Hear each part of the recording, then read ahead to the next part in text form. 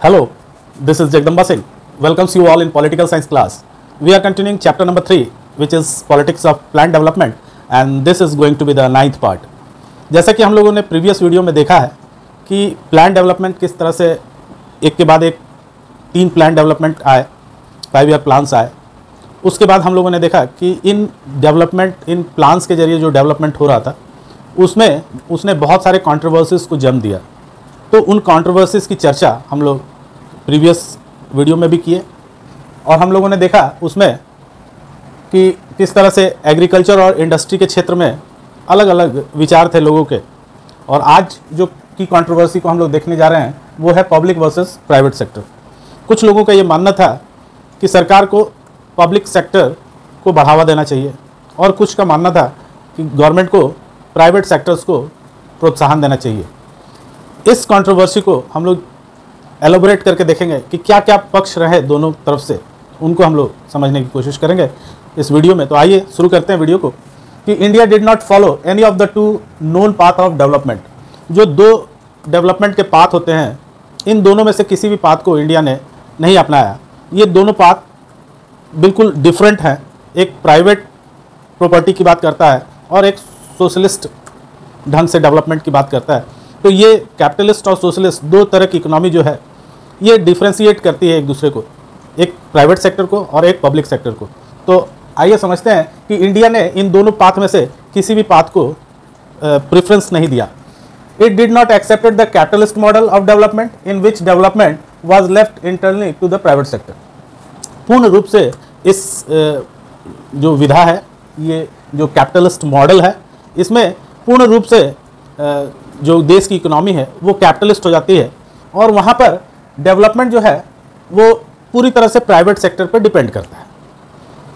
और दूसरी जो, दूसरा जो तरीका है it is did not follow the socialist model in which private property was abolished by the state और इसमें प्राइवेट प्रॉपर्टी का कोई कॉन्सेप्ट ही नहीं होता है। वहाँ सारे कुछ स्टेट्स के होते हैं, यानी गवर्नमेंट गवर्नमेंट का अंतर्गत आते हैं। तो ऐसे डेवलपमेंट को हम लोग सोशलिस्ट मॉडल कहते हैं। तो एक तरफ़ प्राइवेट प्रॉपर्टी का कॉन्सेप्ट और एक तरफ़ स्टेट प्रॉपर्टी का कॉन्सेप्ट ये दोनों डिफरेंसेस थे कैपिटलिस्ट मॉडल में और सोशलिस्ट मॉडल में. Elements from both this models they are taken and mix together in India ये दोनों जो तरीके हैं, दोनों जो मॉडल्स हैं, एक कैपिटलिज्म का मॉडल दूसरा सोशलिज्म का मॉडल इन दोनों में से कुछ अच्छी चीज़ों को, अच्छे तरीकों को इंडियन इकोनॉमी में शामिल कर लिया गया। That is why it is described as mixed economy इसीलिए कहा जाता है कि इंडिया ने एक मिक्सड इकोनॉमी को अपनाया हुआ है। यहाँ पर प्राइवेट प्रॉपर्टी का भी कॉन्सेप्ट है और स्टेट ओन्ड चीज़ें भी हैं, जिसको स्टेट ओन करती है और उसको गवर्न करती है। तो दोनों ही तरह की इकोनॉमी इंडिया में मिक्स्ड रूप से देखी जाती है। इसलिए इंडियन इकोनॉमी को हम लोग एक मिक्स्ड इकोनॉमी के रूप में जानते हैं। अब ये मिक्स्ड इकोनॉमी क्यों अपनाई गई? तो और ये कैसे काम करती है? हाउ मिक्सड इकोनॉमी वर्क ये कैसे काम करती है? ये मिक्सड इकोनॉमी अपना तो ली गई इंडिया के लिए। उसमें से कुछ अच्छी चीज़ें कैपिटलिस्ट मॉडल से लिया गया, कुछ सोशलिस्ट मॉडल से लिया गया। लेकिन अंततः ये वर्क कैसे करता है, इसको जरा हम लोग समझते हैं कि much of the agriculture trade and industry were left in private hand ज़्यादातर एग्रीकल्चर यानी लैंड्स जो होंगे वो प्राइवेट प्रॉपर्टी होंगे लोगों के, और उन पर इंडिविजुअल्स अपना एग्रीकल्चर का काम करेंगे। ट्रेड का काम इंडिविजुअल्स करेंगे यानी जो भी व्यापार का काम है, दुकान खोलना या व्यापार करना, ये सारे काम इंडिविजुअल्स अपने स्तर पर करेंगे। उसके बाद industries they are left in private hand जितनी भी इंडस्ट्रीज़ हैं, उनमें से ज़्यादातर इंडस्ट्रीज़ प्राइवेट हैंड में रहेंगी और उसको इंडिविजुअल्स चलाया करेंगे। ये एक कॉन्सेप्ट था। और दूसरी तरफ़ the state controlled key have key heavy industries state जो है, कुछ हैवी इंडस्ट्रीज़ को, जिनको बेसिक इंडस्ट्रीज़ भी कहते हैं, उनको कंट्रोल करेगी। जैसे इलेक्ट्रिसिटी है कोल माइंस है इस तरह की जो हैवी जो बेसिक इंडस्ट्रीज़ हैं, उन उन पे गवर्नमेंट का कंट्रोल होगा। प्रो प्रोवाइडेड इंडस्ट्रियल इंफ्रास्ट्रक्चर और जो भी इंफ्रास्ट्रक्चर इसके लिए बनाने होंगे, वो गवर्नमेंट बनाएगी।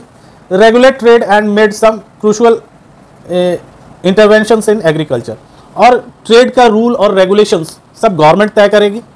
उसके साथ साथ जो क्रूशल इंटरवेंशंस एग्रीकल्चर के क्षेत्र में लेने हैं, जैसे डैम बनाना है या एरीगेशन के लिए कैनल्स का प्रोजेक्ट है, ये सारा कुछ गवर्नमेंट हैंडल करेगी। तो इस तरह से गवर्नमेंट ने कुछ डिवीज़न अपना लिए कि एग्रीकल्चर इंडिविजुअल्स करेंगे, लेकिन उसके लिए एक इंफ्रास्ट्रक्चर की जो व्यवस्था है, जैसे डैम और कैनाल्स वगैरह की स्थिति है, या जो खाद हैं फर्टिलाइजर्स हैं, उनको प्रोवाइड कराना गवर्नमेंट का काम होगा एग्रीकल्चर के क्षेत्र में। और ट्रेड जितने होंगे, वो सारे ट्रेड इंडिविजुअल्स करेंगे। इंडस्ट्री ज़्यादातर इंडस्ट्रियाँ प्राइवेट हैंड में होंगी। लेकिन कुछ बेसिक इंडस्ट्रीज़ पे कंट्रोल गवर्नमेंट का होगा। जो बेसिक इंडस्ट्रीज़ हैं, जैसे कोल माइंस इलेक्ट्रिसिटी वगैरह, इन पे गवर्नमेंट का पकड़ गवर्नमेंट की होगी। और इंफ्रास्ट्रक्चर के क्षेत्र में गवर्नमेंट का काम होगा कि सड़कें बनाना और भी यातायात की सुविधाओं को प्रोवाइड करना। रेलवेज गवर्नमेंट के हाथ में होंगी। उसके अलावा regulate trade and made some crucial trade के लिए जो रूल और रेगुलेशंस होंगे, वो गवर्नमेंट के हाथ में होंगे प्लस जो एग्रीकल्चर के लिए बड़े बड़े प्रोजेक्ट्स होंगे, जैसे कैनाल बनाना और इरिगेशन का काम को देखना डैम्स वगैरह बनाना, ये सारा काम गवर्नमेंट के अपने अंडर में रखेगी। तो इस तरह से इंडिया में एक मिक्स इकोनॉमिक ले लिया गया अडॉप्ट किया गया। कुछ चीज़ें कैपिटलिस्ट इकोनॉमिक मॉडल से ली गई, कुछ सोशलिस्ट मॉडल से ली गई और एक मिक्स इकोनॉमी तैयार हो गई इंडिया के लिए। A mix model like this was open to criticism from both the left and the right अब जैसे कि जानते हैं हम लोग कि राइट आइडियोलॉजी कैपिटलिस्ट लोगों के साथ होती है। कैपिटलिस्ट इकोनॉमिक को मानने वाले लोग जो होते हैं, वो राइट विंग कहे जाते हैं और जो सोशलिस्ट इकोनॉमी को फॉलो करते हैं या आइडियोलॉजी को फॉलो करते हैं दे आर कॉल्ड लेफ्टिस्ट तो ये लेफ़्ट और राइट का जो दोनों विंग का कंट्रोल था, उसको गवर्नमेंट सही करने की कोशिश कर रही थी। उसमें एक इक्विबिलियम स्थापित करने की बात थी कि दोनों में अस्थायित्व आए दोनों पलड़े बराबर हों ये कोशिश थी गवर्नमेंट की इसलिए गवर्नमेंट ने मिक्स्ड इकोनॉमी को अपनाया था। तो क्रिटिसिज्म भी दोनों की तरफ़ से आ रहे थे। लेफ़्ट की तरफ़ से भी क्रिटिसिज्म इन सारी चीज़ों का डेवलपमेंट का हो रहा था कि गवर्नमेंट ज़्यादा टिल्ट है सो, सोशलिस्ट इकोनॉमी की तरफ़ और वो कह रहे थे कि ज़्यादा कुछ दे दिया गया प्राइवेट सेक्टर की तरफ़। तो ये सारे कॉन्ट्रोवर्सीज दोनों तरफ़ से अब क्रिटिसिज्म के रूप में देखने को मिल रही थी। तो आइए इस क्रिटिसिज्म को एक एक करके हम लोग उसको आइडेंटिफाई करते हैं कि किस तरह के क्रिटिसिज्म्स किए जा रहे थे उस दौर में। Let us see what the critics thought about the private sector critics argued that the planner refused to provide the private sector enough space to grow. उनका ये मानना था क्रिटिक्स का कि जो पब्लिक सेक्टर है, उसको बहुत स्पेस दिया गया है। प्लानर्स के द्वारा जो फाइव ईयर प्लान तैयार कर रहे हैं, उन प्लानर्स के द्वारा बहुत स्पेस पब्लिक सेक्टर को दिया गया है और बहुत थोड़ा स्पेस प्राइवेट सेक्टर को प्रोवाइड किया है, जिसमें उनको ग्रो करने में बहुत दिक्कत आने वाली है। The in large public sector produce powerful vested interest that creates enough hurdles for private capital उनका ये मानना था कि पब्लिक सेक्टर का इन्वेस्ट जो इंटरेस्ट है, वो बहुत वास्ट है और उसने बहुत सारे हर्डल्स खड़े कर दिए हैं for the private sector such as अब ये हर्डल्स कौन से हैं, उनको बताया जा रहा है कि such as the way of installing system of licence and permits for the investment जब प्राइवेट सेक्टर में लोग इन्वेस्टमेंट करने जाते हैं तो उनको बहुत सारे लाइसेंस और परमिट्स की ज़रूरत पड़ती है। और इनमें बहुत समय जाया होता है और इसके कारण बहुत सारी दिक्कतें क्रिएट होती हैं प्राइवेट सेक्टर के लिए। उनको ऑफिसों के चक्कर काटने पड़ते हैं और बहुत सारी दिक्कत लाइसेंस लेने में और परमिट लेने में हुआ करती है। The state policy to restrict imports of goods that could be produced in the domestic market with a little और नो कंपटीशन लेफ़्ट अब गवर्नमेंट ने उस समय बैन कर दिया था इम्पोर्ट्स को, जहाँ जो जिन चीज़ों का प्रोडक्शन डोमेस्टिक लेवल पर ज़्यादा हो रहा था तो उनको बहुत कंपटीशन फेस ना करना पड़े, ये सोच के गवर्नमेंट ने इम्पोर्ट्स को बैन कर दिया था। लेकिन इसका एडवर्स इफ़ेक्ट इस सेक्टर पर पड़ने लगा प्राइवेट सेक्टर पर पड़ने लगा।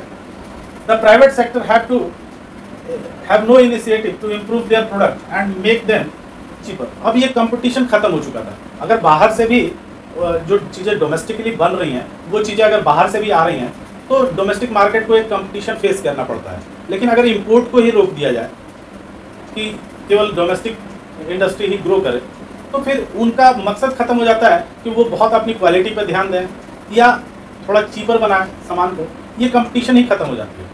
तो ये जो एक इंकरेजमेंट होना चाहिए कि चीज़ें सस्ती मिलें, चीज़ों की क्वालिटी अच्छी आए तो इन सब चीज़ों को हतोत्साहित कर रही थी जो इम्पोर्ट पर रोक लगाया गया गवर्नमेंट ने।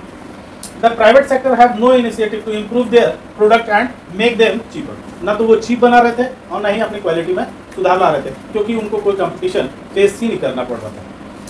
The state control more things than were necessary and this lead to inefficiency and corruption inefficiency in work देखने को मिल रहा था, जब बहुत ज़्यादा स्टेट कंट्रोल चीज़ें हो जाती हैं, कि बहुत सारा, बहुत सारी चीज़ों को जो ज़रूरी नहीं है, उनको भी स्टेट कंट्रोल कर रही है तो इनएफिशिएंसी देखने को मिलता है काम में, कि उतने इफिशियंट ढंग से काम नहीं करते हैं लोग। और साथ में करप्शन भी इसमें बढ़ता है, बहुत तेज़ी के साथ। तो ये सारे क्रिटिसिज्म प्राइवेट सेक्टर के बारे में किए जाते थे कि प्राइवेट सेक्टर को बहुत प्रोत्साहित नहीं किया गया for growth we will see what critics thought about the public sector there were critics who thought that the state do not do enough इनका ये मानना था कि सरकार पब्लिक सेक्टर में बहुत कुछ करने वाली नहीं है। यानी कि जितना सरकार में एबिलिटी है कि वो जितनी चीज़ें कर सकती है, शायद इनको उम्मीद नहीं थी कि सरकार उतना कुछ कर पाएगी। Pointed out that the state did not spend any significant amount for public education and health care उनका ये कहना था कि इन प्लान्स में पब्लिक सेक्टर ने कोई भी निवेश, कोई भी बड़ा निवेश एजुकेशन और हेल्थ केयर के सेक्टर में नहीं किया है। ये इस बात को दिखा रहा है कि सरकार बहुत कुछ करने वाली नहीं है private public sector the state invented only in those area where the private sector was not prepare to go उनका ये भी मानना था कि पब्लिक सेक्टर वहाँ पे स्टैब्लिश हो रही है, जहाँ प्राइवेट सेक्टर नहीं जाना चाहती है, या प्रिपेयर नहीं है प्राइवेट सेक्टर उन क्षेत्रों में जाने के लिए।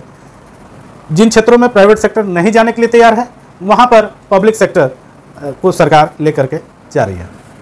The state help the private sector to make profit in state of helping the poor उनका एक और इल्ज़ाम ये था कि सरकार जो है, वो प्राइवेट सेक्टर को प्रॉफिट बनाने में मदद कर रही है, न कि प्राइवेट सेक्टर पुअर्स को हेल्प कर रहा। है यानी कि पुअर्स के हेल्प करने के बजाय प्राइवेट सेक्टर के लोग पैसा कमाने में लगे हुए हैं और सरकार भी स्टेट भी उनकी मदद कर रही है। The state invention intervention ended up creating a new middle class that enjoyed the privilege of high salary without much accountability उनका ये भी कहना था कि केवल एक मिडिल क्लास को ये पब्लिक सेक्टर खड़ा कर रही है और जिसका उद्देश्य जो है वो है कि सारे प्रिविलेजेस का फ़ायदा उठाया जाए और हाई सैलरी प्राप्त की जाए और जिम्मेवारी जिसके जिम्मे कुछ भी ना हो।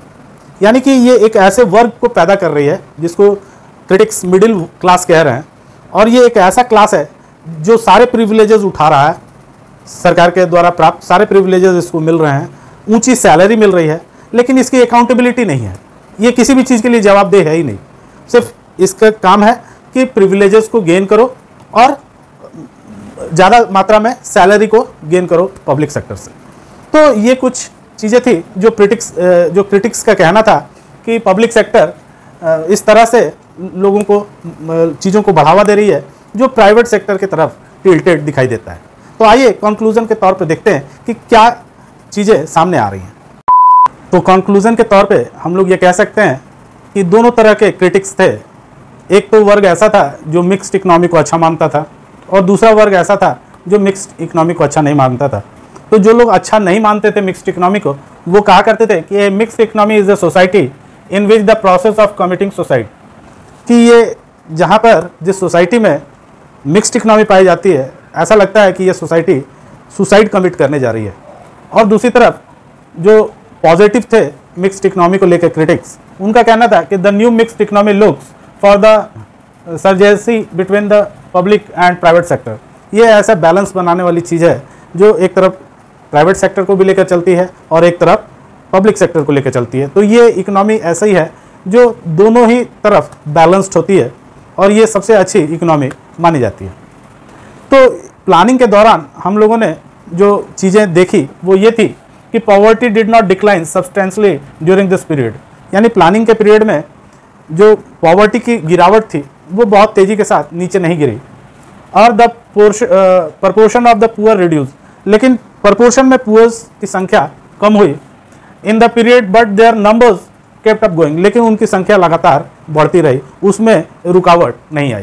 तो हम ये कह सकते हैं कि इंडिया ने एक मिक्स इकनॉमी को लिया और एक बैलेंस स्थापित करने की कोशिश की कि सोशलिज्म और कैपिटलिज्म को बैलेंस करके चला जाए।